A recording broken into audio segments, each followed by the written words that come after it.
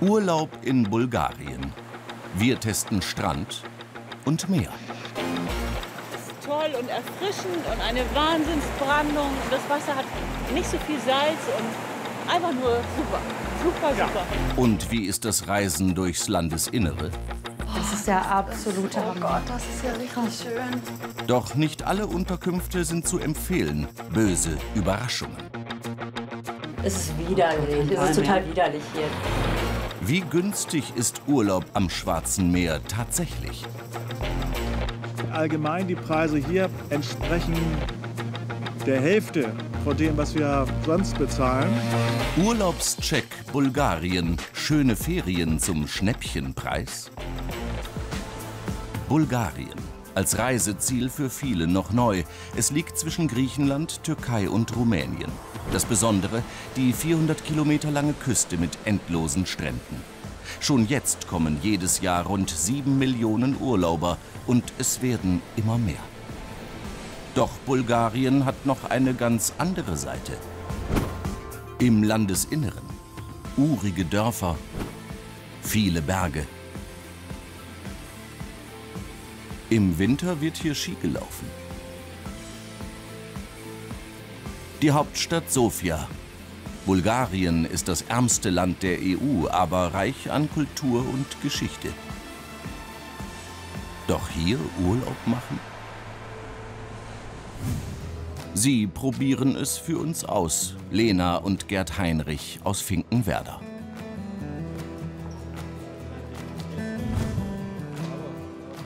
Die beiden reisen viel und gern. Bulgarien ist aber auch für sie ein ganz neues Urlaubsziel. Ich kenne auch niemanden, der da schon mal Urlaub gemacht hat. Ich meine, Lena kennt jemanden. Ich meine, Vorurteile gibt es überall. Also ist aber nichts, was uns davon abhält. Immer mit dabei unser NDR-Kamerateam. Für uns checken die Heinrichs eine Pauschalreise ans Schwarze Meer.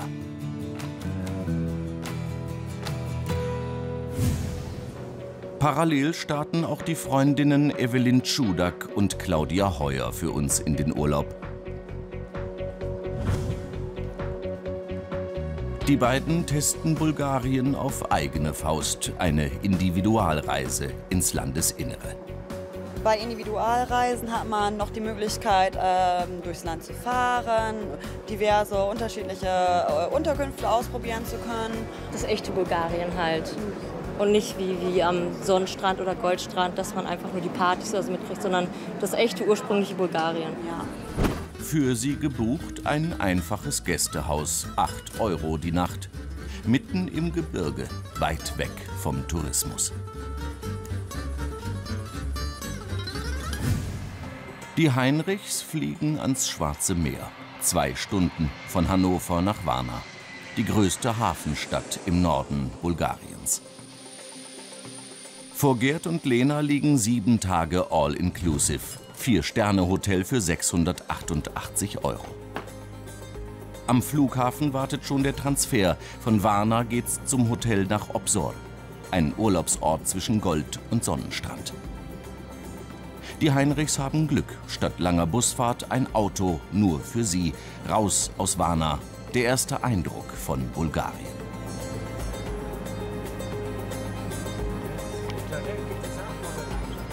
Der Fahrer übernimmt die Reiseleitung auf Deutsch. Der Transfer war sehr nett, äh, sehr engagierter, fast ein Fremdenführer, der uns da begleitet hat und hat auch angehalten für Fotostops. Das hatte schon was familiäres. Claudia und Evelyn fliegen insgesamt vier Stunden.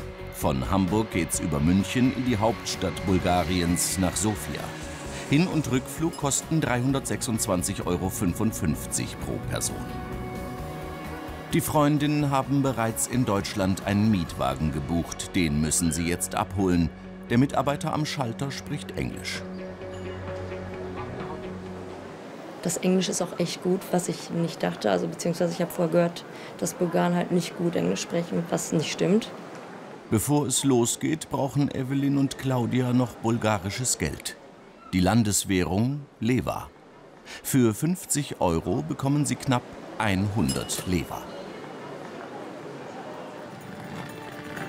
Die Sonne scheint Ende August. Es sind 26 Grad. Der Mietwagen kostet 140 Euro für eine Woche. Vor ihnen liegen 300 Kilometer Fahrt. Das Hotel der Heinrichs liegt 200 Meter vom Strand entfernt im Kurort Obsor. Zwei Kilometer entfernt das Zentrum des ehemaligen Fischerdörfchens. Hier geht es eher ruhig zu. Die meisten Gäste sind Familien. Nach einer Stunde Autofahrt kommen Lena und Gerd im Hotel an. Die Begrüßung auf Englisch. Herzlich willkommen. Danke. Das sind Ihre All-Inclusive-Bändchen und ab jetzt ist alles umsonst für Sie. Super. Nicht ganz, wie Ihnen ein Kellner erklärt. Ab 18 Uhr müssen Sie an dieser Bar Cash zahlen. Aber wir haben doch All-Inclusive. Dann müssen Sie zu der anderen Bar da vorne. Das Hotel hat 175 Apartments und Suiten. Wie ist die Unterkunft der Heinrichs? Sie haben eine Suite mit Poolblick für 688 Euro all-inclusive. Kurzfristig gebucht in der Hauptsaison. Mensch, das sieht ja schon mal recht Eine ganze Küche. nett aus. Ja, Sogar Getränke, guck dir das mal an. Das ist ja perfekt. Sehr schön. das Bad ist wunderbar. Und auch die Betten in Ordnung. Unser erster Eindruck ist sehr positiv, würde ich sagen. Also es ist außerordentlich geräumig. Es ist sehr modern, sehr sauber alles. Schön aufeinander abgestimmt. Wirklich sehr wohnlich.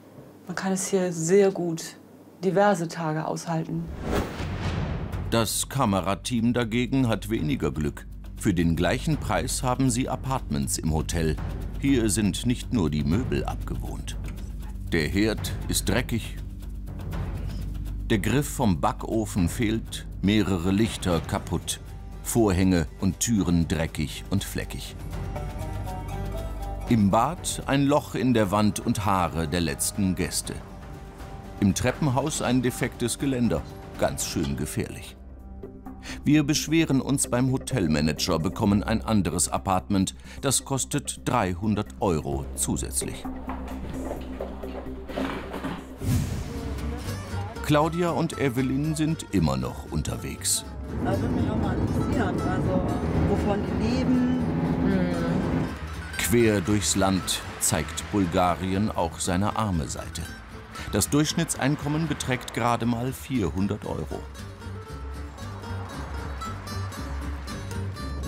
Von Sofia fahren die Freundinnen nach Solnica, ein kleines Dorf in 1300 Meter Höhe.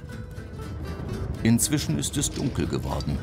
In den Bergen schmale Straßen mit tiefen Schlaglöchern. Vier Stunden später. Gastgeberin Elli Nuno erwartet sie bereits. Ihre Familie hat den Hof seit 15 Jahren.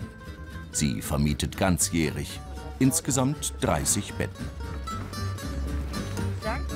Die Gastgeberin nach der Ankunft hat uns so herzlich empfangen und, und hat uns sofort angeboten, dass sie uns dann halt Essen auch zubereitet und alles. Also sehr, sehr herzlich.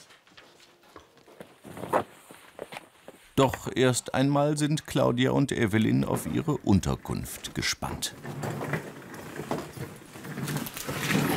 Urig. Das ist der, Hau- das ist der absolute Oh Hammer. Gott, das ist ja richtig schön. Ja, sowas habe ich nicht erwartet. Und wenn wir aufwachen, es wird die wunderschönste Aussicht überhaupt. Den Schrank hier auch. Ein bisschen Platz haben wir hier auch. Ja, doch schön. Ja, Ist es frisch, ja? Ja, riecht frisch, auf Okay. jeden Fall. Ja. Das ist äh, keine Matratze, ne? Das ist eher eine dickere Gartenauflage oder so. Das erklärt natürlich auch, warum es so hart ist, ne? Pro Nacht kostet das Bett 8 Euro, Frühstück inklusive. Drei Nächte wollen sie bleiben. So, das ist hier das Badezimmer. Komm mal her, Yves.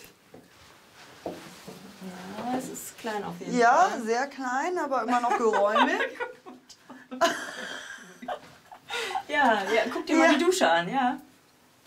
Und da oben? Ah, guck mal, aber für kleine Menschen wie uns passt Ja, das doch. ja, du kannst auf jeden Fall Also auf, ich auf kann mir- Klo und gleichzeitig. Ja. ja. Aber ich kann mir das eigentlich ganz gut vorstellen, ne? Nee. Nee? Nee. Ui. So. Ja. Also haben wir kein warmes Wasser. es scheint so. Es ist Ja. immer noch kalt. Es wird ernsthaft nicht wärmer. Sind wir morgen früh auf jeden Bist du auf Fall eine warme Dusche gefreut? Trotzdem sind die Freundinnen zufrieden. Die Unterkunft hat Herz, hat richtig Charme. Ist wunderschön. 20 Uhr. Bei den Heinrichs am Schwarzen Meer sind es immer noch 23 Grad. Die Tische fürs Abendessen sind draußen gedeckt. Auf Lena und Gerd wartet ein großes Buffet. Sieht gut aus, ja. Ich hätte ganz gern so ein Stück von dahin. Warme Speisen, Salate, Obst. Essen für 500 Gäste. Es ist äh, natürlich ein bisschen wuselig. In der Tat ist es sehr voll. Mein Gott, es ist Urlaub. Jeder sucht sich einen Platz. Es ist ausreichend Platz vorhanden. Und wie schmeckt's? Ich habe mir ganz explizit die Sachen herausgesucht, die ich als frisch und gut empfunden habe. Was ich hatte, hat gut geschmeckt. Aber es gab halt auch Sachen, die, ähm, ja, fand ich ein bisschen lieblos waren. Aber äh, für All Inclusive ist das vielleicht normal. 300 Kilometer entfernt. Im Gebirge Rodopi sorgt Gastgeberin Elli persönlich für das leibliche Wohl ihrer Gäste.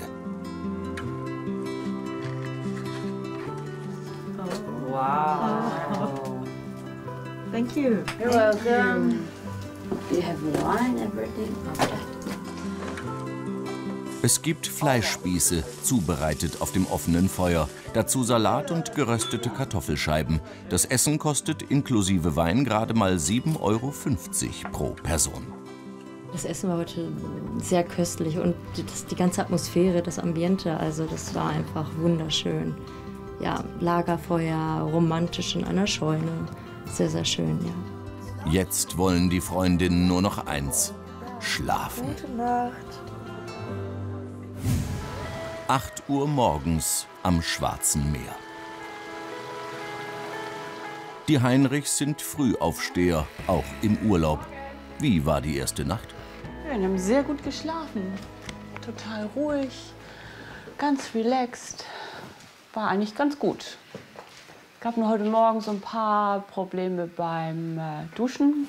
Bei Lena war noch alles okay, doch als Gerd duschen will, kommt das Wasser nur aus dem Hahn, lässt sich nicht auf den Duschkopf umstellen. Er muss improvisieren. Das ist doch nicht schlimm. Das hatten wir in Griechenland auch schon mal.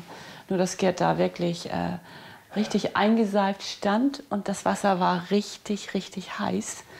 Und äh, dann musste Gerd so lange warten, bis das Wasser abgekühlt war. Früher Morgen auch im Landesinneren. Claudia und Evelyn machen sich startklar. Im Winter sind die Berge hier ein beliebtes Skigebiet. Jetzt im Sommer lockt die schöne Landschaft. Das war kalt. Sehr kalt. Ja, das ist richtig kalt. Wir Eiswolle. sprechen mal gleich die, die, die Hauseigentümerin drauf an, ob, ob es da nicht irgendwie möglich ist, das Wasser irgendwie warm zu kriegen, beziehungsweise zu heizen oder so. Gastgeberin Elli kann die beiden beruhigen. Nach dem Frühstück können sie duschen. Dazu muss erst der Ofen angeheizt werden. Das Holz wird schon gehackt. Man fühlt sich schon Zeit zurückversetzt. Auf jeden Fall. Sowas kennen wir in Deutschland ja gar nicht mehr. Mit, mit Holz zu heizen und das Wasser auch damit zu erhitzen, ist schon äh, wie zu Omas Zeiten vielleicht. Ja, ist es. Ja. Ja, doch. ja. Frühstück. Süßer Blätterteig, Gebäck mit Spinat und Käse. Alles selbst gemacht. Auch der Joghurt. Das schmeckt ja sehr gut. Also totaler Naturjoghurt.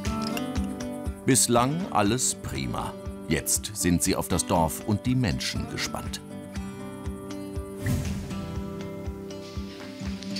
Bei den Heinrichs gibt es auch das Frühstück vom Buffet. Die Auswahl ist groß, aber manches enttäuscht.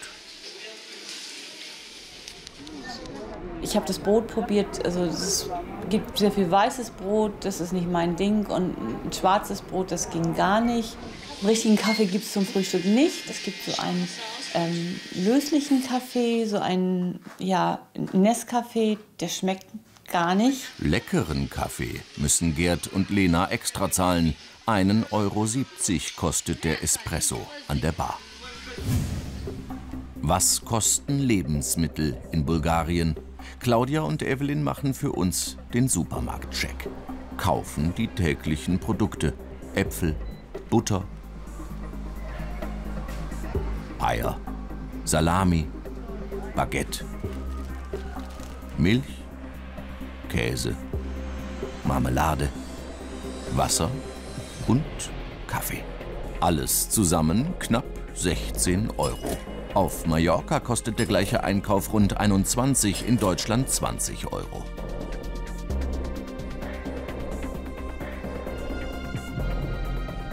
Bulgarien ist am günstigsten. Dennoch sind die Freundinnen erstaunt. Wir fanden die Preise recht hoch. Was wir nicht erwartet hatten, da das halt doch ein recht armes Land ist. Also Alkohol war sehr viel günstiger als bei uns in Deutschland im Vergleich. Geguckt, ja. Kaffee war in etwa genauso und die Grundnahrungsmittel, Butter, Brot, Käse, Wurst, das war gleich. Parallel checken auch die Heinrichs Preise im Hotelkiosk. Hier gibt's Kosmetik, Snacks, Postkarten. Ich gucke hier auch mal. Hier, das ist hübsch hier. Nee, ich finde das noch schön. Guck mal hier. Das Kaliakra Cape. Jetzt haben wir eine Postkarte gekauft, zwei kleine Wasser und äh, ein paar sehr leckere Erdnüsse. Und haben für alles fünf Lever. Lever 10 bezahlt, was ja ungefähr 2,50 Euro Euro 50. 50 entspricht. Also die Auswahl ist ausreichend für einen Urlaub. Normale Preise sind nicht überteuert. Ja. Aber auch nicht so super billig, würde ich auch nicht sagen. 30 Grad, die Sonne brennt. Auf zum Strand. In Obsore ist der sechs Kilometer lang, der drittlängste des Landes. Feiner Sand. Der Strand nicht überlaufen. Das Wasser 22 Grad warm. Toll und erfrischend und eine Wahnsinnsbrandung. Das Wasser hat nicht so viel Salz und einfach nur super. Super, super. Perfekt. Hier kann man einen schönen Strandurlaub verlegen. Die Liegen sind für Hotelgäste kostenlos. Lena und Gerd können in Ruhe entspannen. In Obsor ist das möglich. Hier machen überwiegend Familien Urlaub. Doch an vielen Stränden Bulgariens sieht es ganz anders aus. Touristenhochburgen. Im Norden der Goldstrand, im Süden der Sonnenstrand. Hier feiert das junge Partyvolk.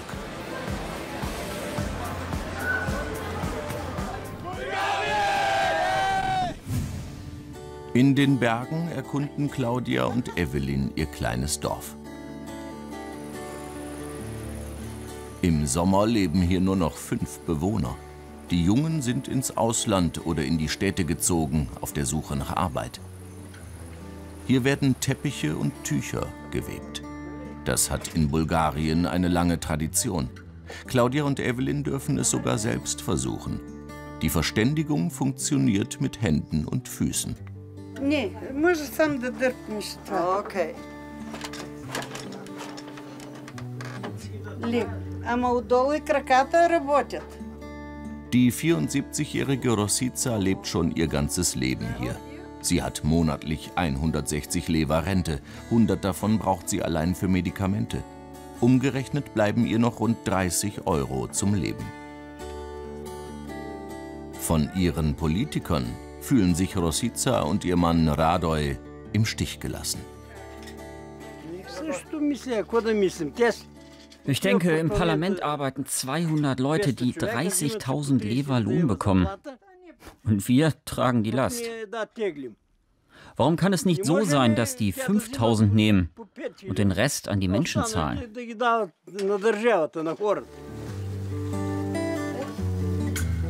Claudia und Evelyn kaufen beide ein Tuch für je 5 Euro. War das Geld auf jeden Fall wert. Wir haben es gerne gemacht. Ja. Und die Freude, die man danach noch ähm, in ihrem Gesichtsausdruck sehen konnte, dafür hätte man noch viel mehr gegeben. Das war einfach unbezahlbar. Ja, als Mitbringsel. Ist auch gerade was Besonderes. Ist jetzt keine Fabrik ja. Anfertigung, sonst irgendwas. Die, die ältere Dame sitzt da mehrere Stunden täglich dran. Also es ist wirklich was ganz Besonderes. In Obsor machen Lena und Gerd für uns den Geldwechselcheck. Als erstes eine Bank. Wie viel Lever gibt's für 50 Euro? Hier müssen Sie sogar Ihren Ausweis zeigen. Dann geht's in eine Wechselstube. Der Kurs bei der Bank war ein Tick besser. Auch der Geldwechsler hat uns schnell und professionell bedient. Als letztes Geldwechseln im Hotel. Der Kurs äh, hier im Hotel war wesentlich schlechter. Stecken sich hier ein bisschen mehr Provision ein. Ergebnis? Bei der Bank gab es für 50 Euro 96 Lever 40, in der Wechselstube 95,50 und im Hotel nur 95 Lever. Ich würde es immer bei der Bank machen. 20 Kilometer vom Hotel entfernt, Lena und Gerd besichtigen Nessebar. Eine Stadt mit 3000 Jahre alter Geschichte. Sie gehört zum Weltkulturerbe. Nessebar ist wunderschön. Ein altes Plätzchen, vielen byzantinischen Kirchen und Häusern, die zum Teil aus Holz gebaut sind. Eine schöne Atmosphäre. Bringt sehr viel Spaß, durch die Gassen zu schlendern. Es ist sehr relaxed und äh, es ist eine schöne, wirklich eine ganz tolle kleine Stadt. Wunderbar. Am Schwarzen Meer geht langsam die Sonne unter. In den Bergen lernen Claudia und Evelyn typisch bulgarische Musik kennen, Dudelsack spielen. Diesen Abend hat Gastgeberin Elli auf Wunsch der Freundinnen organisiert. Kosten 35 Euro. Im Winter zur ausgebuchten Skisaison gibt es das auch gratis. Und dadurch, dass die Stimmung halt so schön dann war, äh, fingen wir halt an zu tanzen, was echt Spaß gemacht hat. Und zum Schluss hin haben wir noch erfahren, dass er zu den zehn besten Dudelsackspielern Bulgariens gehört. Nastrave, Nastrave, Nastrave. Ja, wir sind sehr glücklich. Ja. Wir sind wirklich sehr Ja. glücklich. Sehr zufrieden damit. Also, ja, es hätte uns hier nicht besser treffen können. Das ist wahr. Auch im Vier-Sterne-Hotel der Heinrichs ist heute Folkloreabend.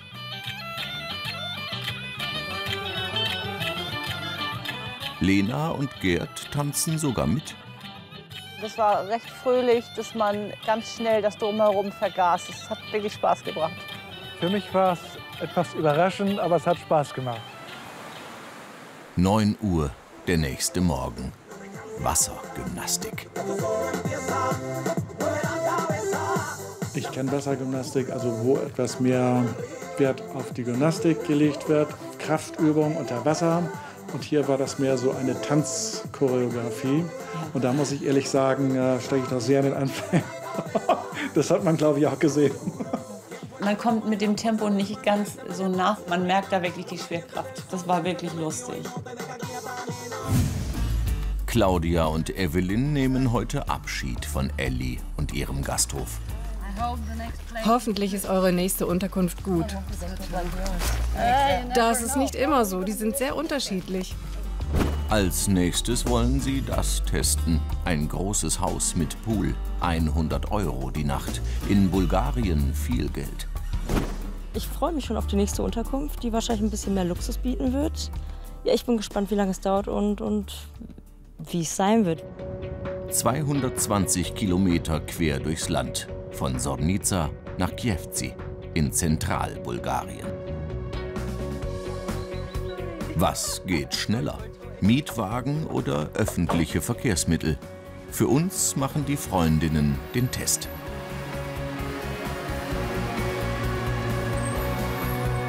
Evelyn nimmt den Mietwagen. Das erste Problem, das Navi kennt die Adresse nicht. Ich werde dann jetzt einfach äh, die Region eingeben und dann mal weiterschauen. durchfragen vielleicht. Irgendwie komme ich auf jeden Fall an. Am Busbahnhof bekommt Claudia noch Hilfe von Elli. Danach muss sie sich allein durchschlagen. Es geht jetzt von Cepelare nach Plovdiv und von Plovdiv nach Gabrova. Und ähm, habe mir jetzt auch schon hier die kyrillischen Städtenamen hier drunter zeichnen lassen von unserer lieben Gastgeberin. Und wenn alle Stricke reißen und ich nicht so gut mit mich mit Englisch äh, verständigen kann, dann kann ich zur Not immer noch da drauf tippen. Der Reisecheck beginnt. Wie sicher ist es quer durch Bulgarien? Die erste Etappe dauert eineinhalb Stunden. Kosten knapp 4 Euro. Der Bus macht einen guten Eindruck, die Straßen weniger. Man kann aber auch schon phasenweise sehen, dass keine Leitplanken sind an Abhängen. Auch Evelyn spürt die bulgarischen Straßenverhältnisse.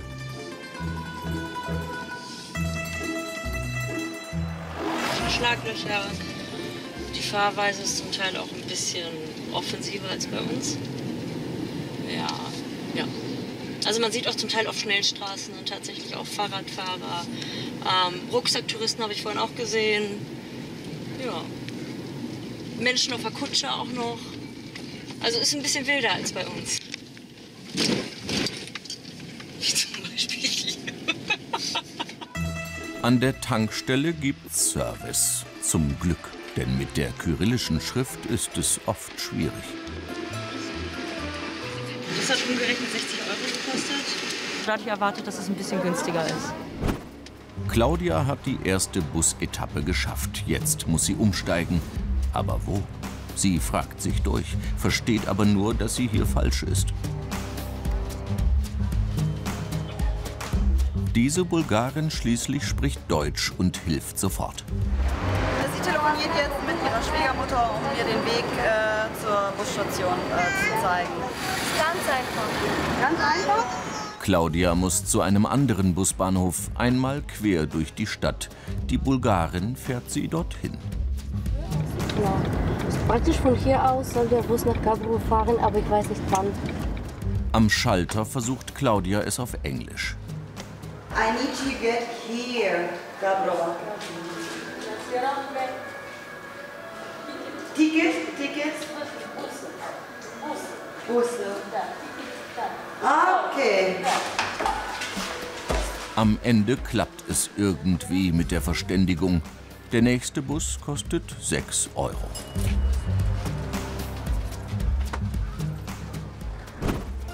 Evelyn legt auf halber Strecke einen Stopp ein, besichtigt das Batschkowo-Kloster, eines der bedeutendsten in Bulgarien. Sie glaubt trotz der Pause mit dem Mietwagen Erste zu sein, doch dann streikt ihr Navi. 100 meters, turn left, then turn left. In 100 meters, turn right, then turn right. Turn left, then turn left. Das ist GPS. Bis jetzt äh, sieht's eher schlecht aus. Claudia kommt nach weiteren vier Stunden in Gabrovo an. Jetzt sind es nur noch zehn Kilometer bis zum Ziel. Eine Stunde früher angekommen. Und ähm, als Frau muss man keine Angst haben, hier alleine in diesem Land zu reisen, ähm, weil äh, ja, die, die Leute hier unheimlich lieb und hilfsbereit sind. Claudia fragt bei Evelyn nach, wo sie ist. Hallo. Ja, ich höre dich. Hörst du mich? Ah, super, ja. Wie weit bist du? Äh, bisher war es äh, ja, super spannend. Also ich bin sehr gut durchgekommen. Ja, wo bist du denn? Ich brauche noch eine Weile, ich habe mich verfahren. Ja, also kann noch ein bisschen dauern. Aber du kannst ja schon mal einchecken, dir das Zimmer anschauen. Ja, wenn du noch eine Weile brauchst, dann, dann treffen wir uns später, ja? Okay, bis dann. Tschüss, gute Weiterfahrt. Ich dachte also, wenn man mit dem Auto fährt, dass man da eigentlich recht zügig ankommt, anstatt jetzt mit öffentlichen Verkehrsmitteln hier irgendwie zurechtzukommen. Man muss ja auch Leute fragen, wie man von A nach B kommt. Und nicht jeder spricht Englisch. Wie gut ist die ärztliche Versorgung für Urlauber? Die Heinrichs machen für uns den Medizincheck. Als erstes fragen sie im Hotel nach einem Arzt. Lena leidet immer wieder unter Migräne. Haben Sie hier im Hotel einen Arzt? Nein, aber wir können einen rufen. Es gibt zwar einen Arzt, den man 24 Stunden erreichen kann, aber der ist also nicht vor Ort und erreichen könnte man ihn im Moment auch nicht. Die Heinrichs könnten im Notfall nur einen Krankenwagen rufen. Nächster Versuch, ein Arzt im Ort. Bulgarien gehört zur EU. Ein Praxisbesuch müsste deshalb mit der europäischen Krankenversicherungskarte möglich sein. Doch der Arzt will für die Untersuchung 40 Euro in Bar. Das wird per Vorauskasse berechnet. Er stellt eine Rechnung aus, die dann bei der Krankenkasse eingereicht werden kann. Die Versicherungskarte ist damit nicht akzeptiert. Das Problem in vielen Urlaubsländern. Zu Hause dann oft die böse Überraschung. Der Arzt kassiert mehr, als die Krankenkasse bezahlt. Jetzt noch die Apotheke. Was kosten Medikamente in Bulgarien? Eine Apotheke heute, die konnte weder Englisch noch Deutsch. Wenn man denn sich auf das Wesentliche beschränkt, dann versteht sie es auch. Ja. Sie kennt ihre Fachvokabeln, kennt die Wörter, weiß, was Ibuprofen ist, weiß, was Renny ist. Ja, klar. Das war eigentlich unproblematisch. Ja, muss ich auch sagen. Also man kommt durch. Und auch keine, das, die Leute sind auch freundlich, muss ich sagen. Sie kaufen Voltaren Schmerzgel, Renny Kautabletten und Ibuprofen. Für alles zusammen zahlen sie 14 Euro. In Deutschland wären es 18 Euro. Für die letzten 10 Kilometer nimmt sich Claudia ein Taxi. 220 Kilometer quer durch Bulgarien.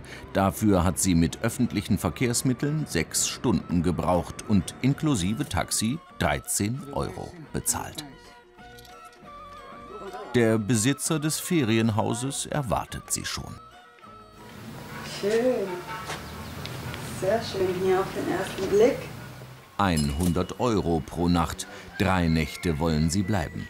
Den Großteil mussten sie schon vorab zahlen. Als erstes muss Claudia einchecken, ihre Personalien eintragen. Die Verständigung schwierig. Der Vermieter spricht nur Bulgarisch. Uh, I do have a question. Um, do you need my identity um, document? Okay, das ist myself. Auch Evelyn ist inzwischen im Dorf angekommen und fragt sich durch. Ich komme mit. Okay, gut. Zeigen. Ja. machen wir das so. Gut. Die Bürgermeisterin des Dorfes begleitet Evelyn die letzten Meter zum Haus. Sieben Stunden hat sie gebraucht und neben dem Mietwagen auch noch 30 Euro fürs Tanken bezahlt. Ihre Reise also eine Stunde länger und viel teurer. Ich habe gerade die Bürgermeisterin kennengelernt. Ach, das ist ja cool. Ja. Wie hast du das denn gemacht? Erzähl mal. Ja, das erzähle ich dir gleich alles in Ruhe. Jetzt wollen sich die Freundinnen endlich ihr Luxusferienhaus anschauen. Der Vermieter hat sich inzwischen aus dem Staub gemacht, aus gutem Grund. Überall Schimmel und Dreck. Ja, so eine Luxusunterkunft ist das definitiv nicht. Und guck mal die Gardinen an, die sehen auch ganz vergilbt aus. Wahnsinn. Ja, selbst die Scheibe ist kaputt. Und das ist erst der Anfang. Der Griff ist auch schon ganz fettig und Ja, eklig. Saudreck. Ach du. Scheiße. Und Ja. glitschig fühlt sich auch schon an. Oh Gott. kann nicht glauben. Also es ist für mich total unreal, dass, dass, Ja, dass man ein Haus mietet, eine Luxusunterkunft und da ist altes Essen im Ofen. Also Also bis jetzt kann ich schon sagen, dass das schlechteste Hostel besser war als das.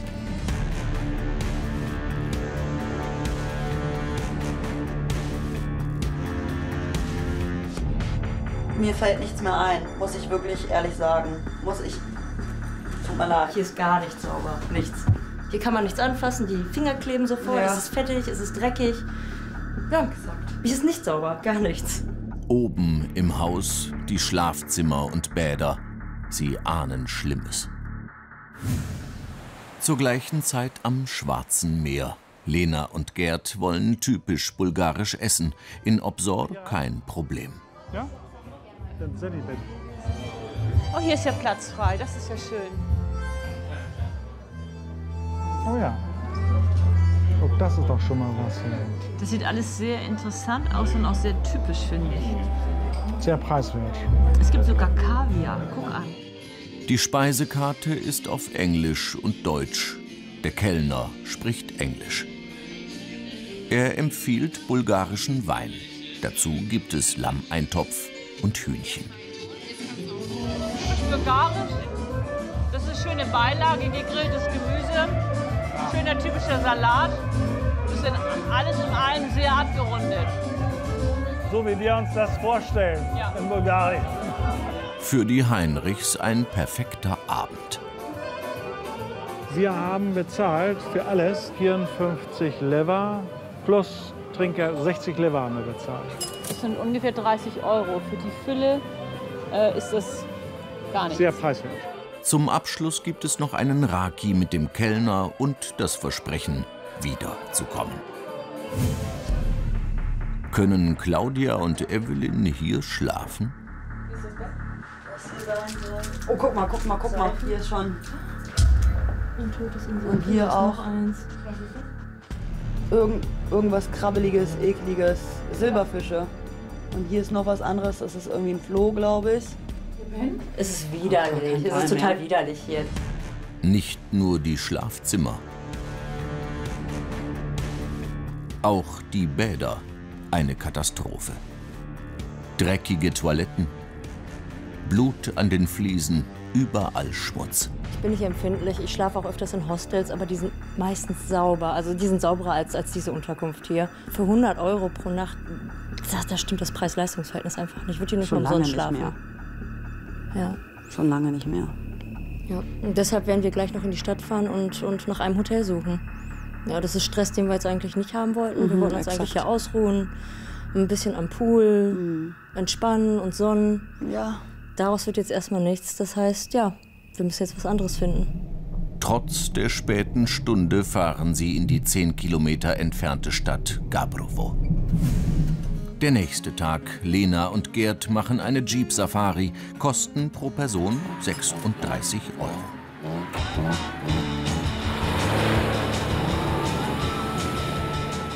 Den Ausflug haben sie in ihrem Hotel gebucht. Er dauert sechs Stunden. Mit drei Jeeps geht's von Obsor ins Hinterland. Bulgarische Safari.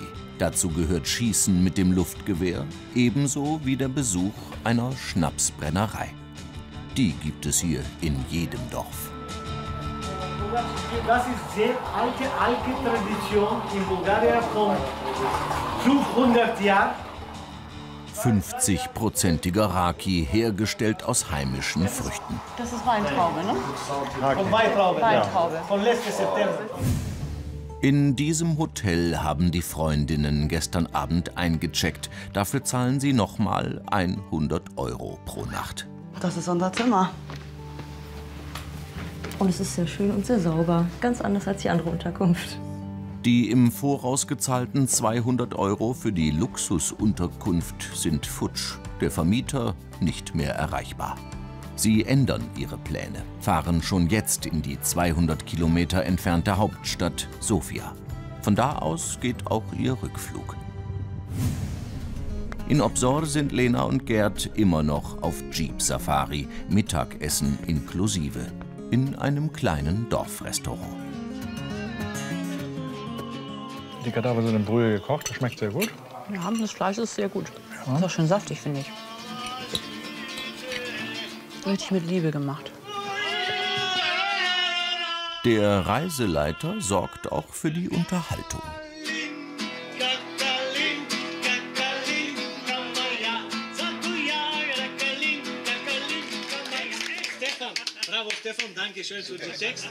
Und war der Ausflug die insgesamt 72 Euro wert? Die Jeep-Safari ist eine sehr aufregende Geschichte. Sie ist nicht empfehlenswert für Rückenkranke und Schwangere. Aber für Leute, die ein bisschen Spaß haben wollen, sehr schön. total schön. Es geht die Berge hoch, es geht durch Fluss, äh, Täler und äh, es ist einfach nur Riesenspaß. Claudia und Evelyn sind nach drei Stunden in Sofia angekommen. In der bulgarischen Hauptstadt leben 1,3 Millionen Menschen. An vielen Ecken immer noch Ostscham. Trotzdem lässt es sich gut shoppen. In diesem Geschäft zum Beispiel gibt es nur Unikate.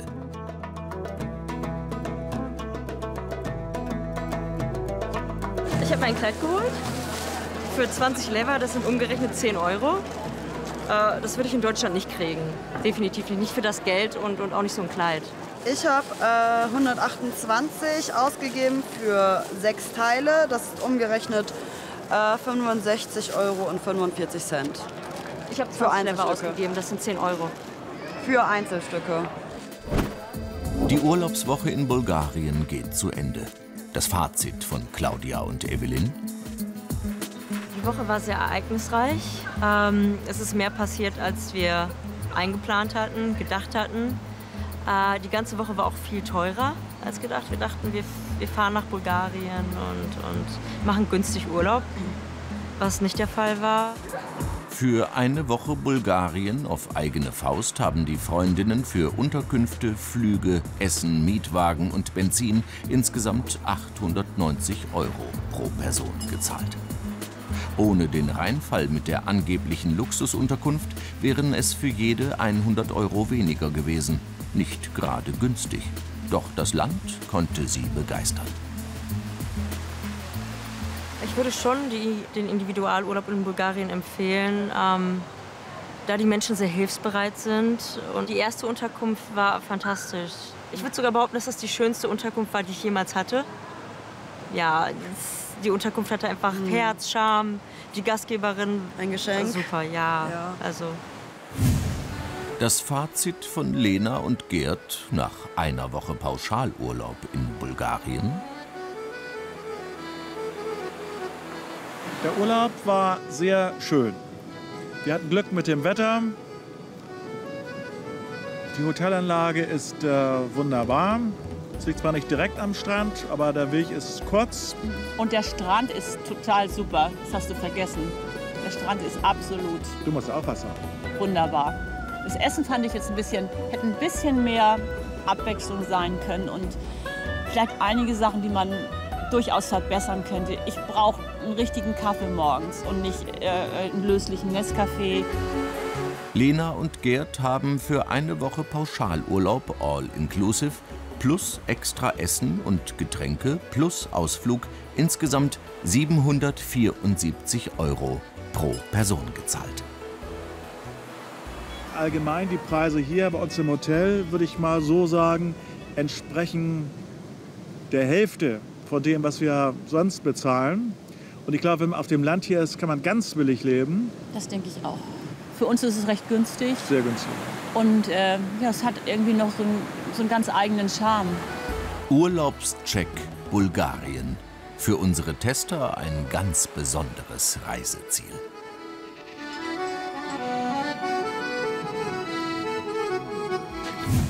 Und nächste Woche Urlaubscheck Mallorca. Trauminsel auf dem Prüfstand.